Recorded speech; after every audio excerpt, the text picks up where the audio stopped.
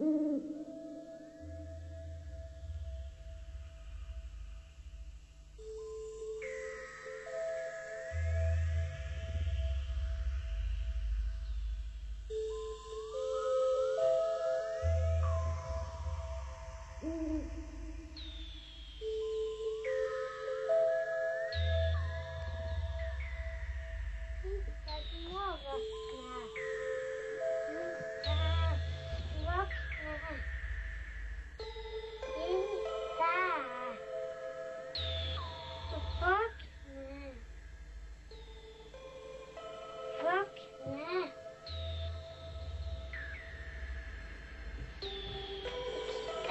luck.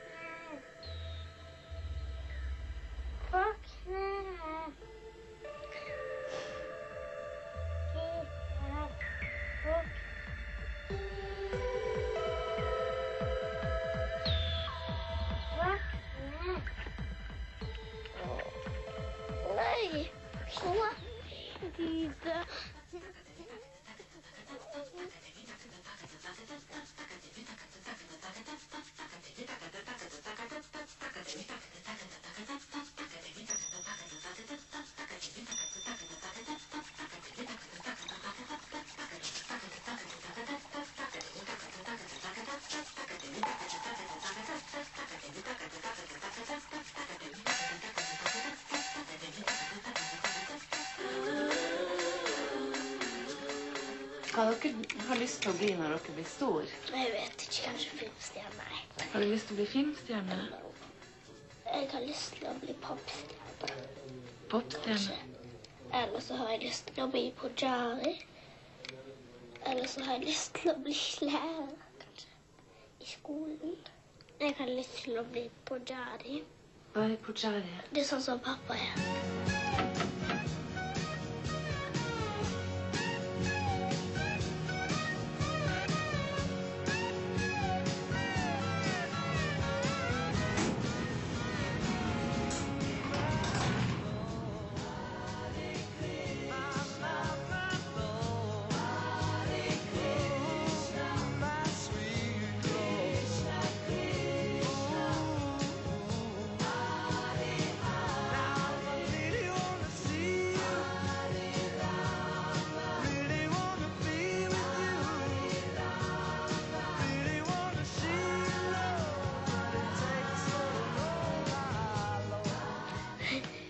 Nesten som å kle på noen dukker, så.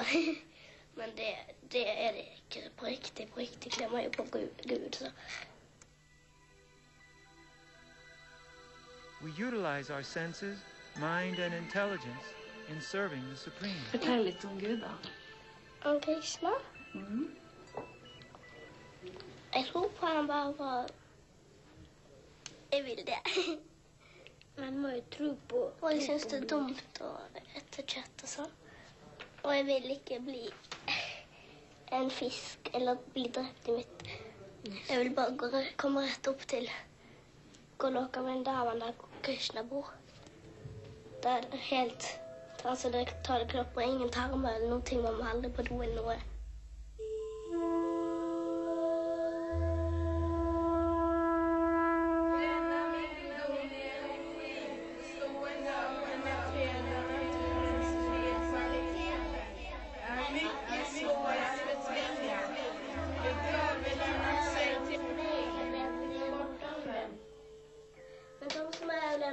Överlämnat meg, kan lätt tränga bortom den. Men de som har överlämnat seg til meg, kan lätt tränga bortom den.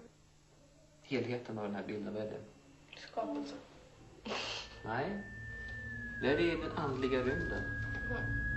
Och Mahavishnu det är en expansion av Krishna. Och han ligger i något som kallas för eh, orsaksoceanen. Och när han ligger där så strömmar det från hans porer ut enormt många universer. Eh, vid hans utandning så kommer alla universa ut. Och vid hans inandning så kommer alla universa in igen. Och där eh, föds eh, mystiskt Brahma, universums ingenjör. Han har fyra huvuden. Därför han behöver mycket intelligens för han ska skapa hela universum.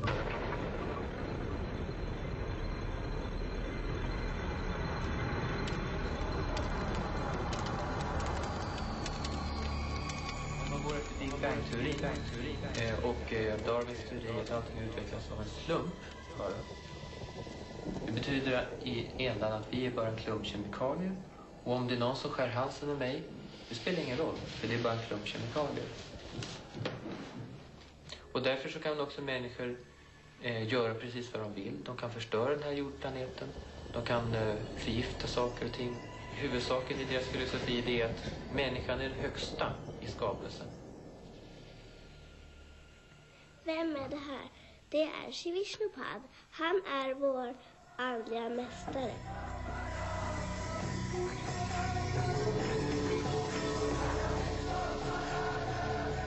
När han kommer hit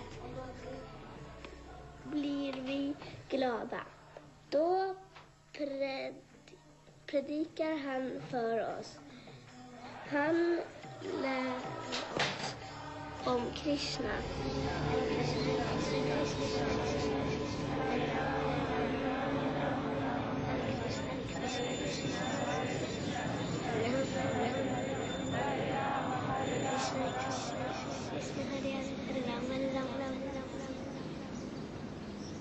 Som de lærer oss om Krishna och de lærer seg kanskje om... Ja, de lærer seg nesten det samme, men det er litt lite annorlunda. da? Jeg vet ikke, for jeg har aldri gått på en vanlig sånn skole, Men det er noe som er skillnad med det. Bare for min venn går på en sånn skole, Vanlig skole, og der, le- der det er liksom ikke sånn leker som vi gjør. For vi får ikke, nesten ikke en som lov å male et hjerte. Får ikke? Jo, vi får. Men ikke, vi får ikke skrive hvem vi er forelsket i og sånt der. Nei, det får vi ikke. Gud, og får Er du forelsket i, da? Mm. Ja, men jeg sier ikke hvem. Er du forelska, Gopi? Ja, jeg, her oppe i annen etasje, den lille gutten på fire år. Er du? Men så- Vet han det? Ja. Jeg har til og med kysset.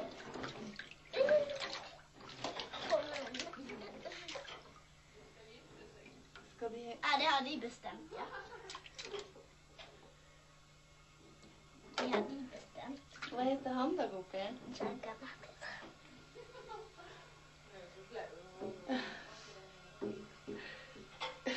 Men jeg vil ikke at noen mer skal ta om det, de som den vet. Hare Rama, Hare Rama, Rama Rama, Hare Hare, Hare Krishna, Hare Krishna, Krishna Krishna, Hare Hare, Hare Rama, Hare Rama, Rama Rama, Hare Hare. Hare Krishna, Hare Krishna, Krishna Krishna, Hare Hare, Hare Rama, Hare Rama, Rama Rama, Hare Hare, Hare Krishna, Krishna Krishna, Hare Hare. Hare Rama, Hare Rama, Rama Rama, Hare Hare, Hare Krishna. Man merker i hvert fall at det er veldig, en veldig bra lydvibrasjon. Denne. Og när man har holdt på en stund så skjønte och Da endrer jo livet seg etter hvert. altså. Ganske drastisk for oss. Då. Da? Jo, vi har jo vi då slutat med allt det vi holdt på med då. och Jag håller på att studera. Och vi flyttade hit och blev heltidshängivna då. Hva annet sluttet dere med, da? Ja, vi slutade med att spisa kött och dricka alkohol och, och så vidare och så vidare. Med sex også? Ja, det får man också sluta med bara för att ha barn då. Men eh, Det var, gick väl lite som gradvis då. Men det, ändå så.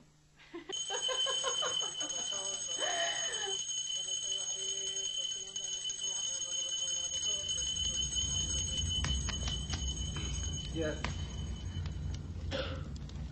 And do you promise to assist him in spiritual life, to be chaste and to not divorce? Yes. Yes. And then I have the bindi. One mark here. It's a sign of that she's now a married woman.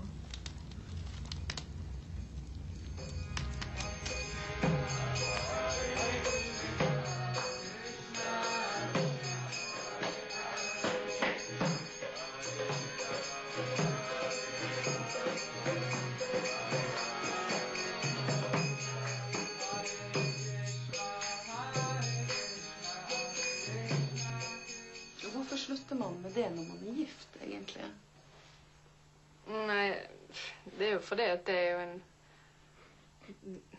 vi, for Det vi forsøker med, det er å utvikle åndelig liv, og det er jo en kroppslig handling da, jeg bare går på å tilfredsstille kroppen.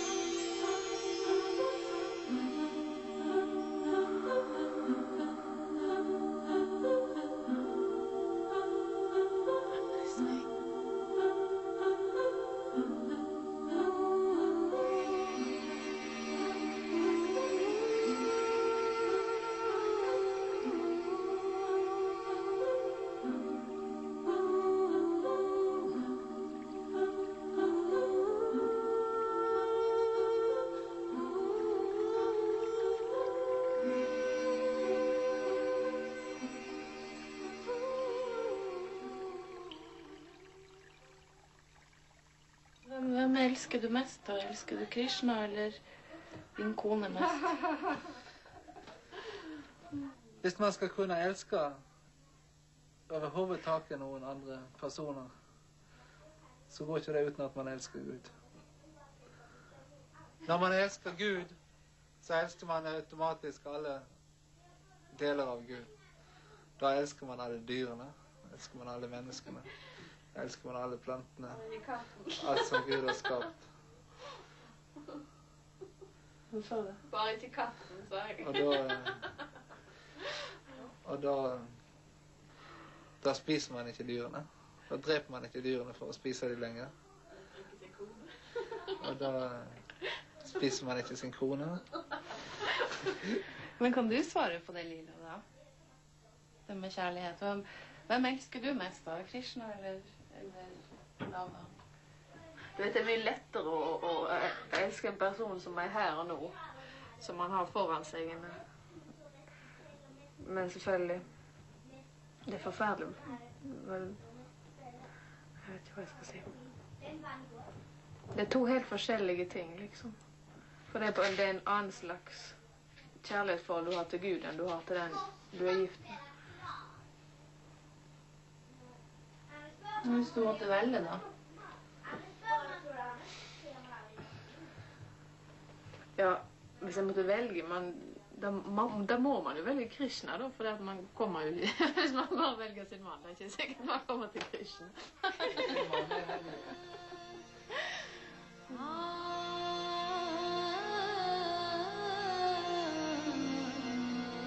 For lenge, lenge siden i India bodde den mest vidunderlige barn. Hans navn var Krishna, og han levde eh, så bra med sin mor og far i den vakre landsbyen Vrindavan. I Vrindavan var hjemmene veldig hyggelige. Det var Skal du være ekko der oppe? Da vil ikke mamma lese. Skogene var fulle av vakre fugler og påfugler. Gita Det er en liten herremappe som ligger der oppe. Gita. Skal dere høre denne her? Ja. du, skal du lese den for oss? Lese den for oss. Gita. Er ikke du bare litt alvorlig? Alvorlig. Da må jeg se det. Kom tilbake fra arbeidet. Arbeidet. Så så Krishna to trær. Krishna to trær. Nei, mens Krishna Nei. Nei, mens Krishna Gita, kan du slutte nå? Mamma ble helt forvirret av dette. forvirret av dette. Nå, nå ligger du tynt an, vet du det? Noen har klippet av håret ditt. Jeg, jeg tar den andre boken. Klippet av håret ditt. Klippet av håret ditt. Ja, jeg vet at noen har klippet av håret mitt, men jeg vet ikke hvorfor. Eller hvem. pappa som har sprunget inn och varit Pappa har sprunget rundt med saxen. Okej.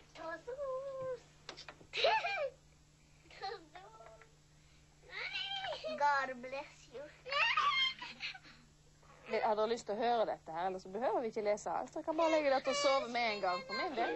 Kanskje du, Bobby, kan du nå legge deg fint, eller så leser ikke mamma? Nei, det kan ikke ikke. Ok, men da leser vi ingenting. Da, kan dere bare, da slukker mamma lyset, så kan dere legge dere å sove. Jeg kan ikke lese meg til, Bjørn.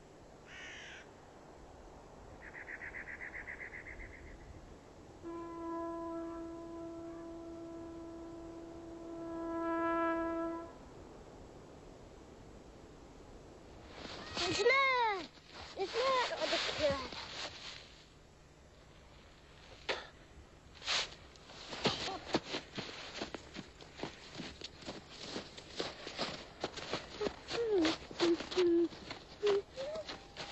Segre! Ja. Oi,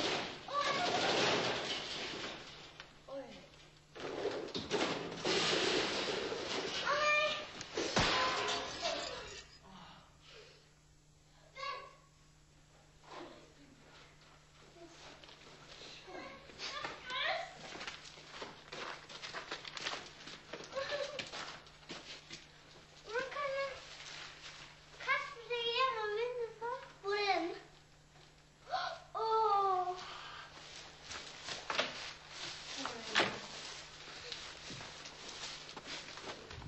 Nei.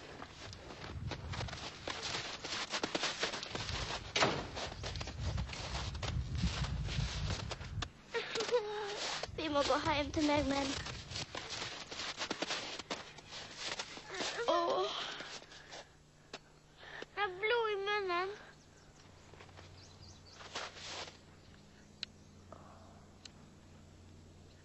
Hare Krishna, Hare Krishna. Stakkars. Hare Krishna, Hare Krishna, Krishna Krishna, Hare Hare, Hare Ram, Hare Ram, Ram, Hare Hare, Hare Krishna, Hare Krishna, Krishna Krishna, Hare Hare, Hare Ram, Hare Ram, Ram, Hare Hare, Hare Krishna, Hare Krishna, Krishna Krishna, Hare Hare, Hare Ram, Hare Ram, Ram Ram, Hare Hare, Hare Krishna, Hare Krishna, Krishna Krishna, Hare Hare, Hare Ram, Hare Ram, Ram Ram, Hare Hare, Hare Krishna, Hare Krishna, Krishna Krishna, Hare Hare, Hare Ram, Hare Ram, Ram Ram, Hare Hare, Hare Krishna, Hare Krishna, Krishna Krishna, Hare Hare, Ram, Hare Ram, Ram Ram, Hare. Hare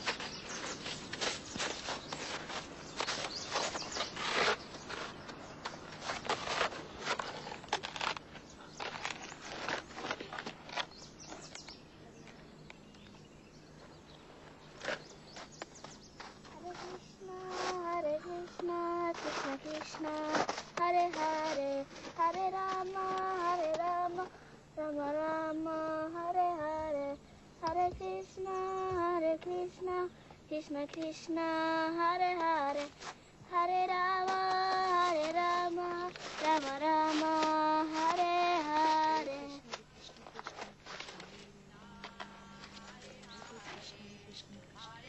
Rama, Rama Rama, Hare Krishna, Krishna Krishna, Krishna Rama, Hare Hare. Hare Krishna, Krishna Krishna, Krishna Känner jag väl igen någon Krishna, mage. Allerede? Kanskje. For å bli Shri Krishna. Men den får i alle fall et bedre liv. Hvorfor tror du det? Jeg tror ikke det, jeg vet det. Hvordan vet du det?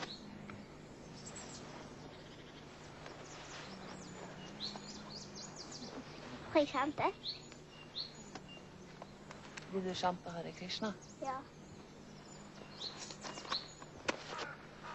Det kan jo bli et menneske òg, men det er ikke alltid. Jeg tror det. Det blir et menneske. Men jeg, jeg er ikke sikker. Jeg tror bare. Man vet aldri hva den kan bli. Men jeg blir i alle fall ikke en fugl igjen.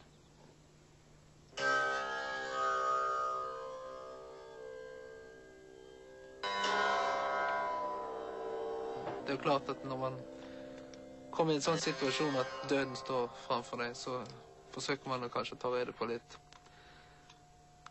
litt saker om hva hender etter døden og sånne saker.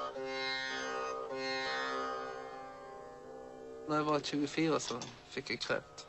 Kanser. Og det var ganske nær døden der. Så Men på et eller annet sett så klarte jeg å komme meg over det. Var du hengiven når du fikk kanser? Nei, egentlig ikke.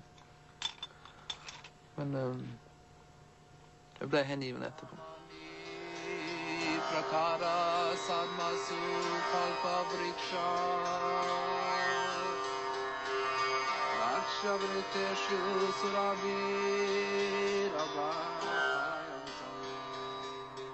Krishna sier eksempel om man tenker på han i dødsøyeblikket, så kommer man til ham.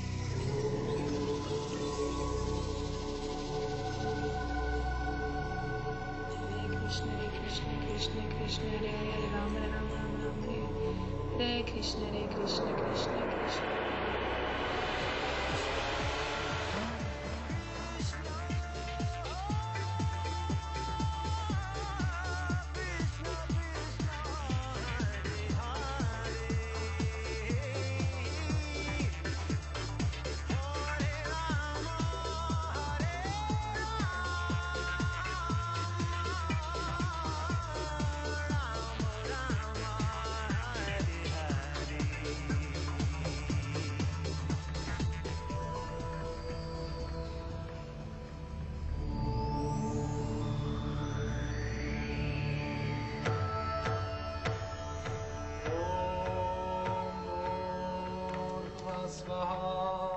Vi vet at Krishna han tar hand om oss. Men hva lever dere av? Krishnas nåde. Men hva lever du på? Hvor kommer pengene fra? Krishna. Alt kommer fra Krishna. Krishna er- eier alt. For Jeg vet det, for jeg driver tempelet. Av og til er det liksom ingen penger. Så plutselig en dag kan det komme noen penger herfra. Det er helt uventa. Det er ikke alltid vi forstår hvordan det er mulig, eller hvor pengene kommer ifra. Eller, men plutselig så kan det komme inn gjennom dørene. Sånn. Kirchner på et eller annet sett tar hand om det sjøl. For vi er så useless, vi klarer ikke å ha det.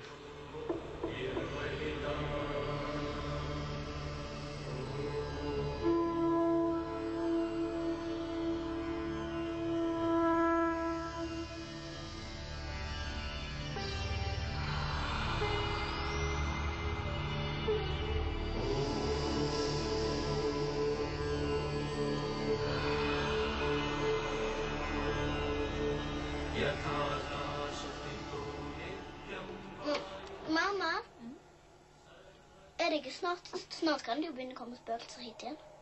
Kittersvar burde legge ny ring snart. Hva er det for noe? Fortell, mamma. Vi har en sånn der Ghostbuster. Iskons Ghostbuster. Den fra India som gör för Han var her og gjorde Samlet opp spø Eller tok vekk spøkelsene på Almik. Mamma, det står i, i en bok at man må skjære en bit av flesket sitt og ofre til skiva for å bli sånn. Jaså? må man det? Jeg har Har, han gjort det? Jeg vet ikke, Gita. Og ta en kniv og kutte ut en bit av flesk og ofre til skiva.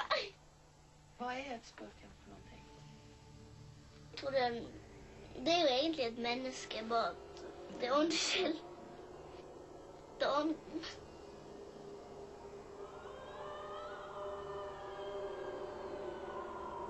Hvis jeg gjør selvmord nå på meg, da blir jeg et spøkelse.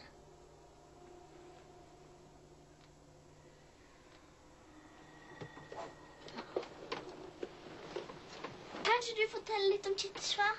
Nei, helst ikke. Hva er det? Nei, det var han som var her og tok og gjorde. Hvorfor ikke, mamma? Og så la han en ring rundt hele Alviken så magisk, sånn at det ikke kan komme spøkelser gjennom. Merkte du noe? Var eller, var he, alle var bare Det var, var ikke noe særlig bra stemning i det huset den dagen. Men hvordan var det, mamma? Den dagen. Det, det var helt sånn Helt hysterisk, liksom. Man merket at de var redde eller et eller annet. At det var sånn At spøkene var redde. Ja, for at det, de skulle bli fanget, liksom. Det var helt sånn Liksom bare Den stemningen.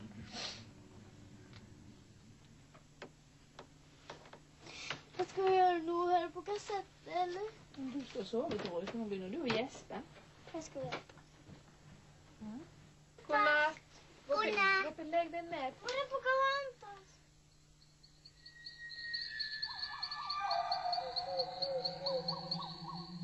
Legg deg ned. Jeg skal finne det når du har lagt deg ned.